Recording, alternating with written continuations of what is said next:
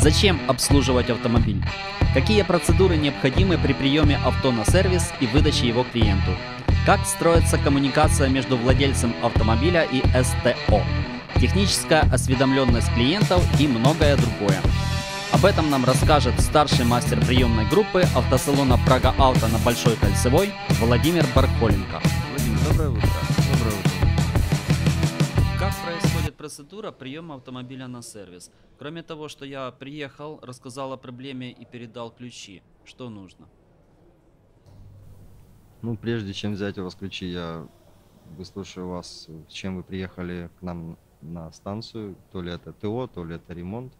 Уточняю все ваши пожелания, все ваши э, рекомендации, которые вы хотели бы проверить. Может быть, даже те, которые не входят в регламент э, проведе- проведения ну, работ по ТО. Я смотрю, заранее просматриваю вашу историю, уже, может, знаю, что я могу предложить вам на этом ТО пройти. После этого мы приходим к общему, скажем так, знаменателю, объем работ, распечатаю наряд заказ, еще раз все детально по наряд заказу рассказываю, что мы будем делать, указываю на рекомендации, которые клиент хочет проверить, разъясняю наряд заказ, делаем подписи, прохожу к автомобилю с клиентом, осматриваю его, то есть, может быть, чего-то клиент не знает, какие-то царапинок в своих автомобилях. Я это все проверяю, показываю клиенту, если он не знал. Он также может подсказать, где он там царапинку нашел. И я это все отмечаю, также с ним беру подпись на акте приема передачи. Клиента заранее, конечно, уточняю, будет ли он ожидать, будет ли он уезжать куда-то. Может быть, какую-то предложить ему мобильность, то есть там вызвать такси или отвезти. даже, даже так- отвезти- такая помощь может быть. да, у нас такая помощь есть. Э, Можем предложить довести там до ближайшего метро. Плюс автомобили тест-драйв, то есть он сразу почувствует, проедет на тест-драйвской машине, то есть, может быть, он этого и хотел, и, может быть, приобретет нас этот автомобиль. Вот. То есть вариант, да, варианты разные, как бы человек может ждать, может уехать по работе. Э, Обязательно как бы контроль, проверка его мобильного телефона для связи. Если человек там оставляет машину на день, то примерно по объему работ я знаю там на какое время, там 2 часа, 3 я человека предупреждаю об этом. Если человек говорит, что там заберу вечером, ну, значит вечером. В любом случае, любое расширение наряд заказа или же ну, диагностика, после диагностики, если что-то мы обнаружим, любую информацию, я передаю информа- информацию клиенту, даже если ее нету, все хорошо. Просто человеку отзваниваюсь, что все хорошо. Если что-то нашли, то обязательно с ним согласовываю, заранее уже сделав какую-либо калькуляцию по работам, по времени, наличие запчастей и так далее. Прежде чем позвонить, я это все подготавливаю. После А- этого провожу с клиентом беседу, рассказываю, что нужно менять, что можем сейчас не менять. Есть такие как бы варианты, моменты, когда это не обязательно на данный момент приезда. То Можно вы, кли- вы перенести. клиенту посоветуете, как лучше Да, да. поступить. В любом случае решение за ним, поэтому я максимально понятно, понятным для него языком объясню, что нужно сделать, что можно немножко перенести, если что-то не критично. Человек сам принимает решение, согласно этого мы проводим дополнительный ремонт. Если он здесь, конечно, то в любом случае всегда приглашаю к себе за стол, за стол. Визуально показываю даже на картинках, что нужно менять. Соответственно, указываю, если он говорит, менять, я ему говорю сумму, сто, ну, стоимость, объем работ, сколько еще займет это времени. Ну и распечатываю наряд заказ уже обновленный с новой суммой. Беру у него подпись, то есть подтверждение проведения данного ремонта и передаю информацию в ремзону, начальнику ремзоны или же механику. Что можно проводить работу. Спасибо за подробный ответ. Как вы считаете, зачем вообще нужно обслуживать автомобили? Ну, чтобы они служили исправно, без не было каких-то ситуаций, что машина ты куда-то едешь, она ломается. Есть просто регламент проведения ТО, когда автомобилю нужно обновить тоже масло, проверить ходовую. У нас дороги строятся, но не, не- не все такие хорошие, как в том же Киеве. Нужно проверять автомобиль, как минимум, если он новый, то проходить просто ежегодно, ежепятнадцатитысячно ТО, потому что масло имеет свое время, скажем так, эксплуатации, время своей работы. Его нужно менять, даже если вы мало ездите, но раз в год его нужно менять. Все равно масло имеет срок годности, скажем так. Чтобы человек ездил на автомобиле, не переживал, он может в любую точку Украины, мира поехать и не переживать за это. Поэтому автомобиль нужно обслуживать, автомобиль нужно, мягко говоря, любить, да, чтобы он тебе никогда не отказывал, ну и не подводил. Ну, вот я купил автомобиль новый, он у меня ездит хорошо, ничего не скрипит, не стучит. э, Ну, я это не вижу- замечательно, я тогда не вижу повода обращаться, у меня все нормально. Это правильное мнение? Э, Если это так, это очень хорошо, но как минимум раз в год вам нужно приехать на официальную станцию той марки автомобиль, который вы имеете, и провести ему просто ежегодную замену масла. Есть э, маленькое, скажем так, обслуживание, это первый год автомобиля. Более объемное обслуживание, это уже второй год автомобиля или второе обслуживание 15 тысяч, то есть 30 тысяч уже. Там будут более объемные проверки, потому что автомобиль проехал больше километров, больше времени. Те же фильтра, которые там воздушные салоны, их уже можно будет заменить, потому что за время эксплуатации не забивается. Пыль, грязь, это все отображается на фильтрах. Если автомобиль ведет себя хорошо, никогда не подводит, это только замечательно. Это говорит о качестве вождения водителя и хозяина автомобиля. Ну и просто хорошего автомобиля. С какой периодичностью рекомендуется поменять масло, Автомобиль Шкода меняет каждые 15 тысяч. Независимо от модели? Независимо от, от модели, по времени один раз в год после даты покупки автомобиля или каждые 15 тысяч. Есть э, допуск, если машина гарантийная, есть допуски перепробега, так сказать. То человек может за год не наездить 15 тысяч, но по времени, там, например, дата продажи декабрь да, 2020 года. То есть на следующем году должен приехать на данном автомобиле до или, 20, или дек- декабря 2021 года. По времени можно немножко оттянуть, есть допустимые 30 календарных дней перепробега, это по времени. Если человек наездил 15 тысяч раньше, то перепробег по времени, ой, извините, не по времени, а по километражу, Да, да. 500 километров плюс. То есть максимум он может приехать 15 500. Это для того, чтобы поддерживалась гарантия еще на автомобиль. Гарантия на автомобиль 2 года или 100 тысяч. На новых автомобилях уже идет больше гарантия 3 года.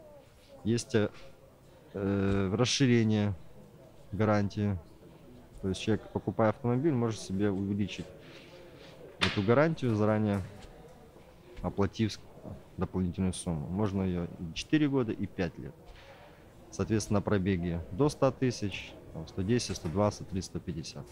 То есть это все индивидуально при покупке автомобиля. К вам приходит большое количество клиентов, и интересно услышать, что люди спрашивают чаще всего у вас. В основном, когда есть какая-то диагностика автомобиля, результат диагностики, спрас- спрашивают в основном, зачем это сейчас делать, зачем мне сейчас э, это менять, для чего.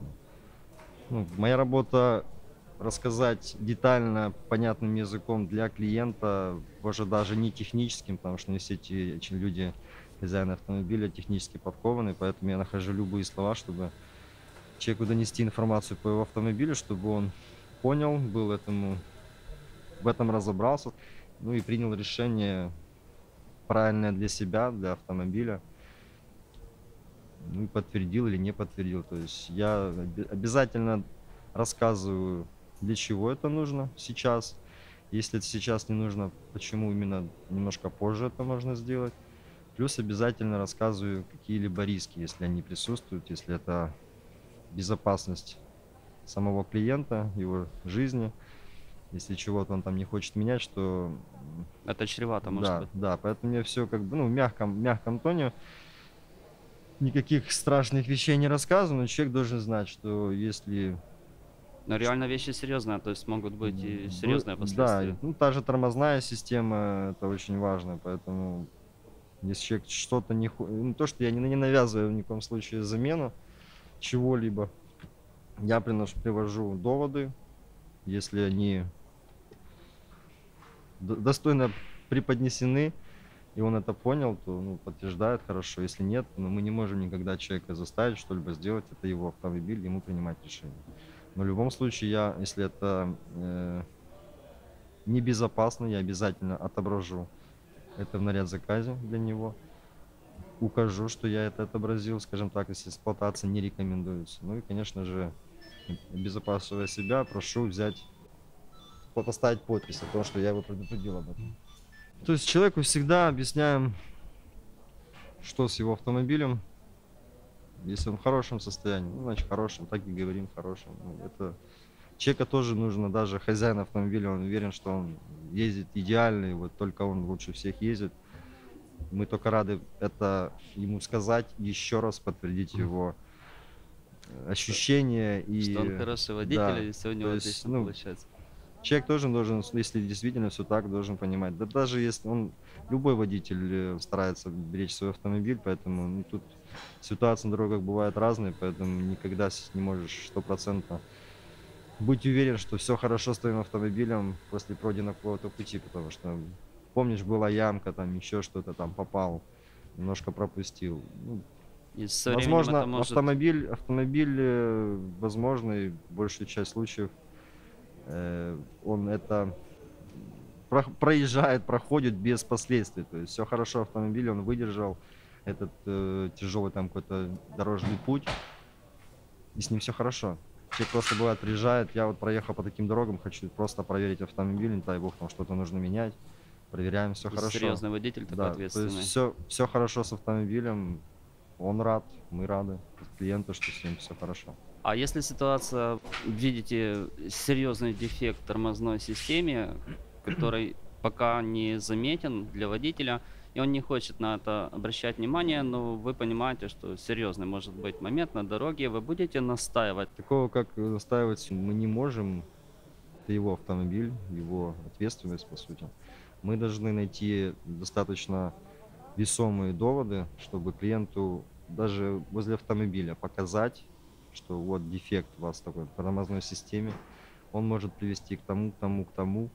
То есть разные варианты ему последствия, скажем так, обрисовать. Ну, без фанатизма, но человеку максимально довести э, проблемы, которые это может создать в будущем, да, чтобы человек был предупрежден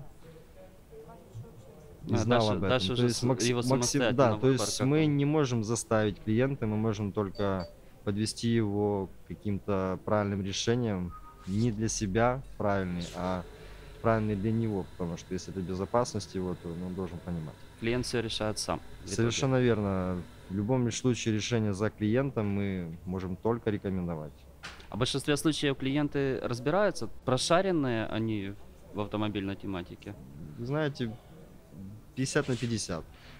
В на- Ну, не то, что там во всем. Он может быть в чем-то Разбираться? разбираться в своем автомобиле, а в чем-то нет.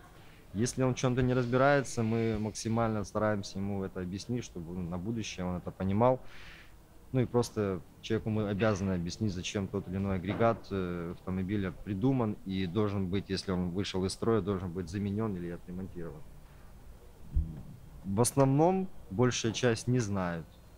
Процентов 40 на 60. 60 не знает, 40 знает.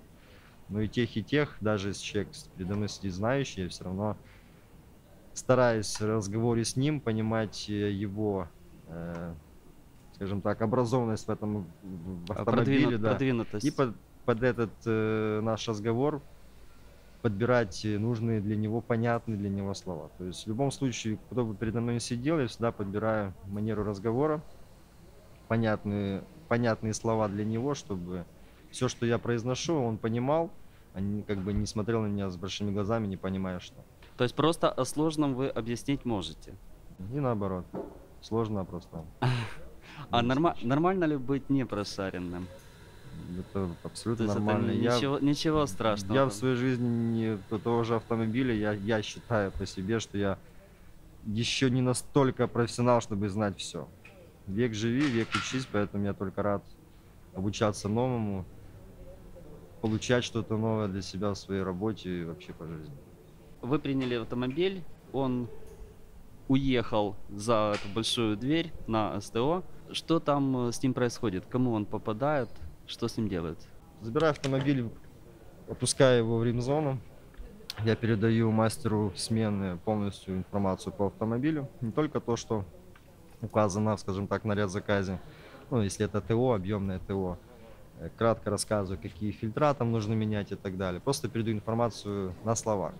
Плюс э, обязательно, если были рекомендации от клиента или какие-то пожелания от клиента, то я обязательно передам это еще на словах. Ну и, конечно, укажу, что это указано на ряд заказе, еще описано, чтобы человек, механик тоже это прочитал. После этого начальник смены смотрит объем работы, э, понимает, кому он дает этот автомобиль механика, ну кто свободный, кому он именно этот автомобиль передает работу. Механику еще уже сам может передать информацию, то, что я, в принципе, рассказал, то, что написано на ряд заказа детально. Я даже, находясь рядом, могу также это повторить. Мне не сложно, мне важно, чтобы донести полную информацию, которую клиент.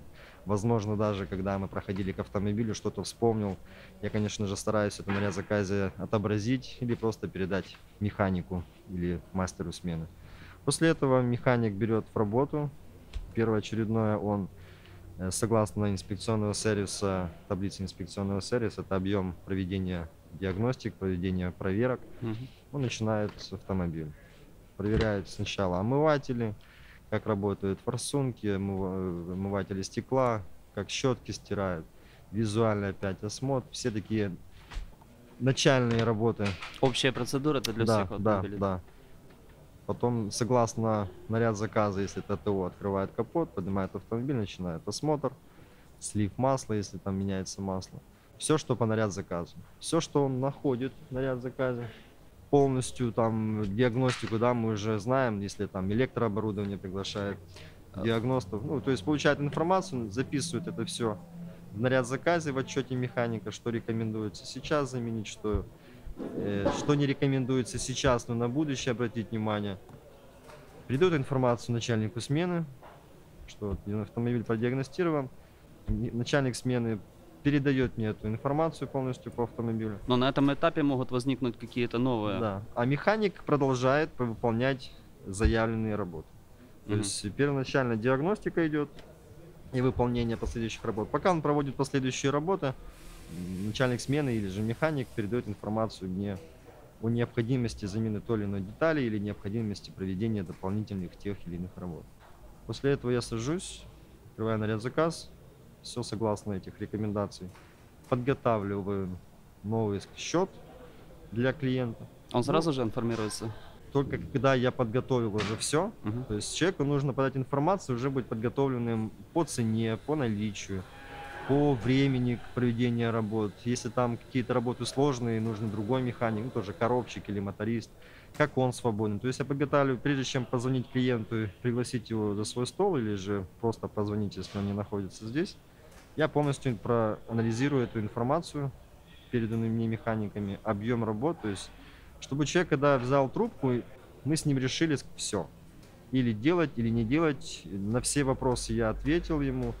Все, все, что я хотел ему э, сказать по автомобилю, также детально, понятным для него языком, все рассказал, чтобы человек, получив эту информацию, принял решение. Если человеку нужно время для принятия решения, мы только за.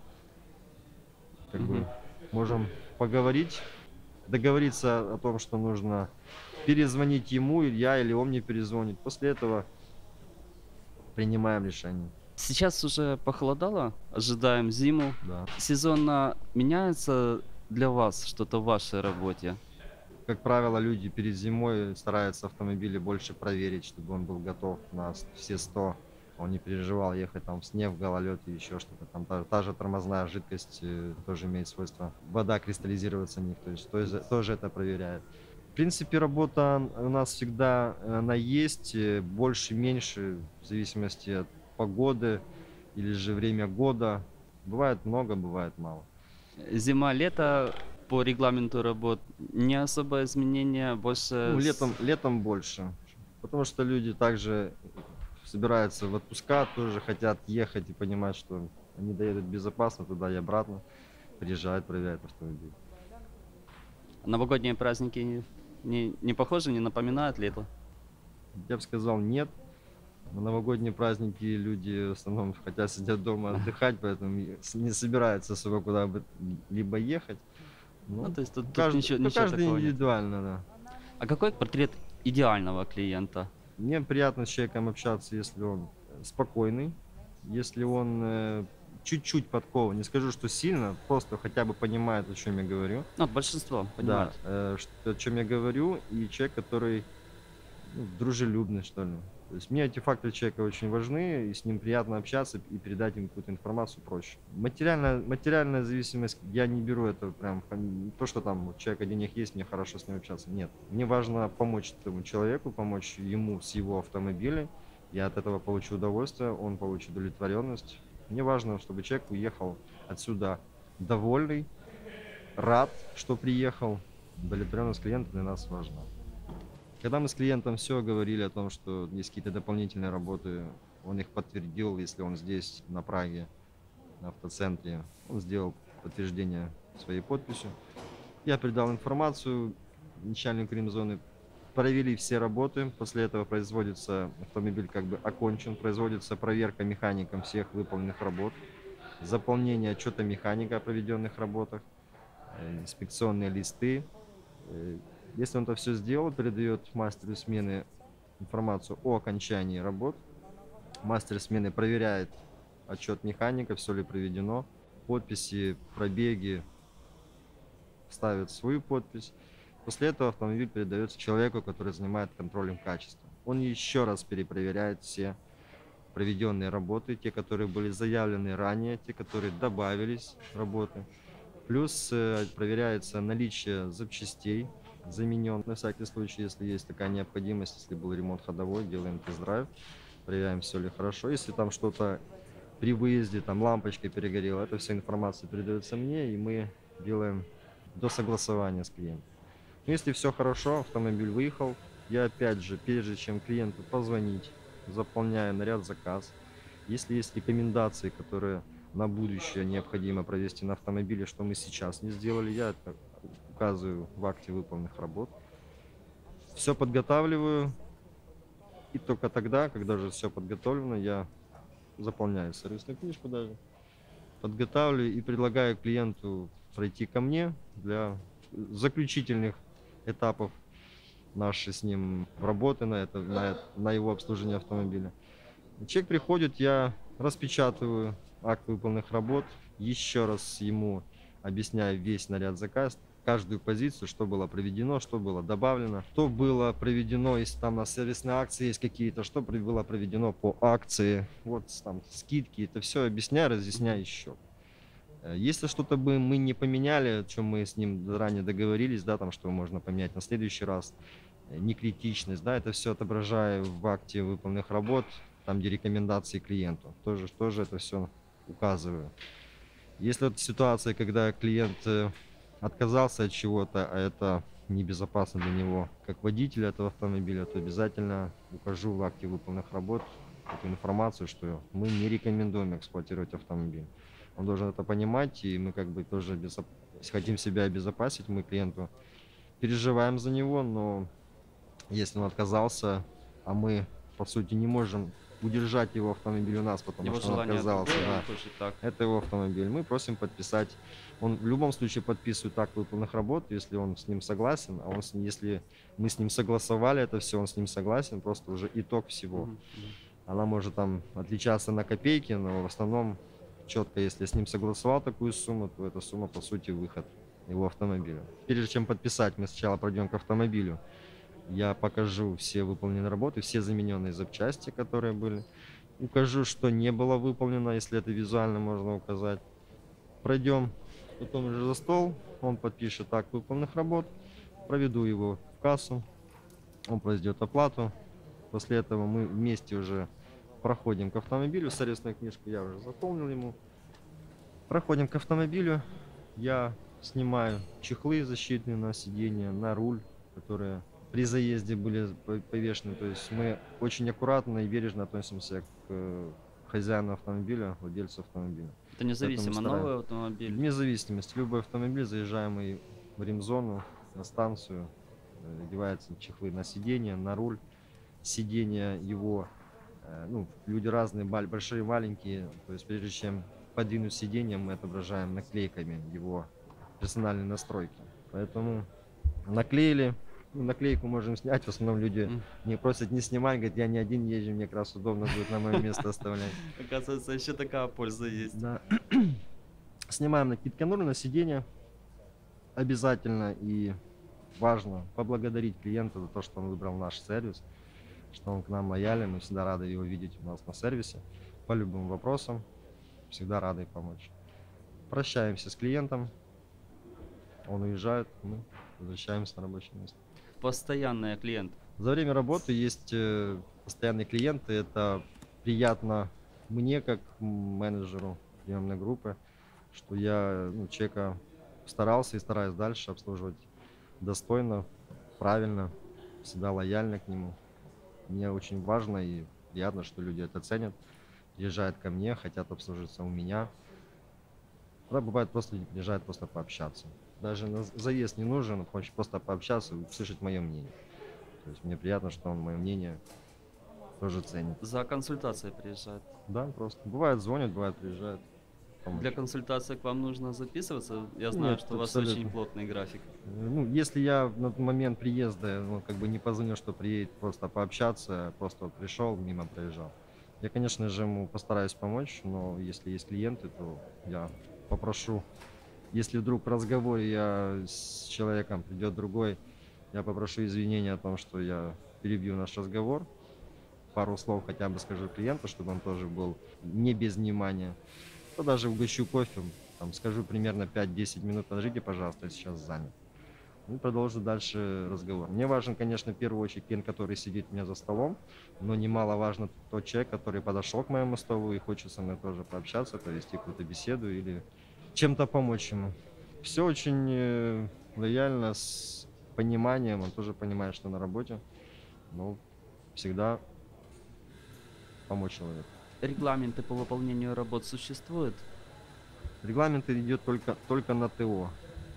На ТО и ну, те же обязательные замены того же ГРМ да, имеют определенное время по времени и по э, годам, по километражу. Это обязательно. Все остальное по мере износа, по мере необходимости. Спасибо огромное за содержательный разговор. Спасибо вам большое, всего доброго, рад был помочь. До свидания, спасибо.